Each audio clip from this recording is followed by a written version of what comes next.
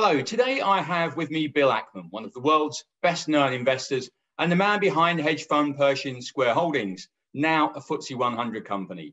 Now, um, hello, Bill, thanks for joining me. Sure, thanks for having me. And then since we last spoke, Pershing Square Holdings, as, as I mentioned at the start, has become a FTSE 100 company. Uh, now, you told me FTSE 100 inclusion was probably the most significant potential catalyst uh, for Pershing Square. Well, I mean, the shares are up around, I think, 16% in the past five months. Firstly, what's life like among the UK blue chips, and, and what's the next significant ca- um, catalyst for the shares? Sure. So the discount narrowed quite nicely from you know the mid 30s to now 24%. I still find it extraordinarily wide.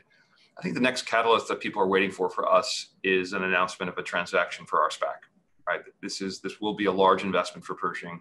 Uh, a lot of focus on that entity. Um, for those not familiar with Pershing Square Tontine Holdings, this is a U.S. listed uh, SPAC, four billion of capital from outside investors, a billion minimum commitment from us, and uh, you know, we're targeting a you know large cap, super high quality, you know, uh, durable growth company. And uh, I just think that transaction, if and when it happens, and I, again we have a lot of confidence we're we're going to do something people like I think will be notable and it will create a lot of value for uh, Pershing Square Holdings uh, because all of the sponsor economics are actually owned by uh, you know, PSH and the two smaller private uh, Pershing uh, funds.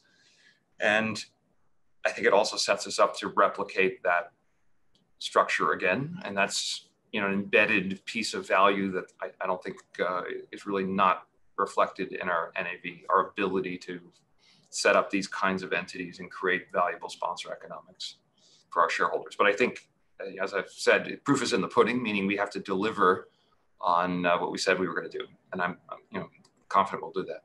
Sure. I, would just say for UK um, viewers, uh, a SPAC is a special purpose acquisition company, much like the equivalent to a UK cash shell, we might call them over here.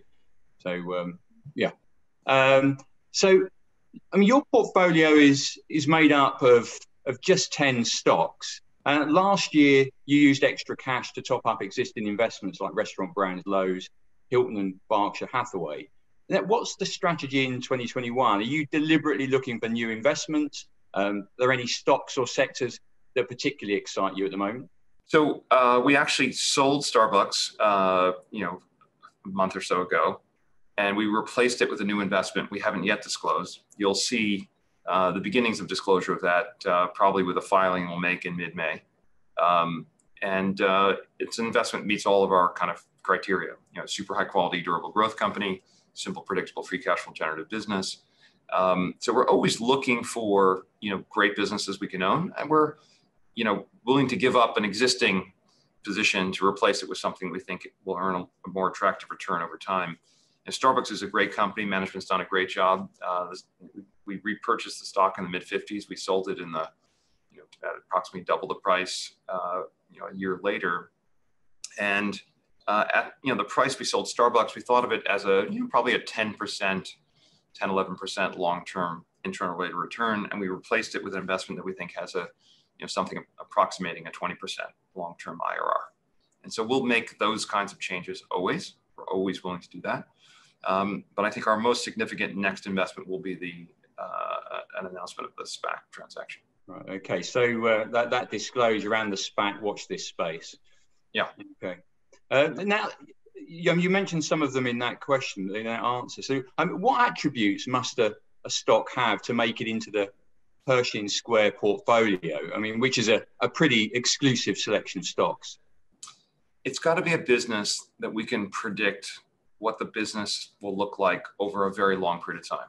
You know, the if you believe that the value of a financial asset is the present value of the cash you can take out of the business over its life, in order to build that discounted cash flow model, you've got to put in little numbers in the in the cells, to, if you will. You got to you got to have a view on how revenues are going to grow. You're going to have to have a view on what operating margins are going to be you know, over time. In order to get there, it has to be a business that ha- is very has very defensible characteristics. It can't be a business where a couple of students quit university and uh, you know and a year later they built a, a, disrupting sort of technology. So we're looking for these very, very what we call durable businesses. You know, Warren Buffett uses the term, you know, business with a moat around it.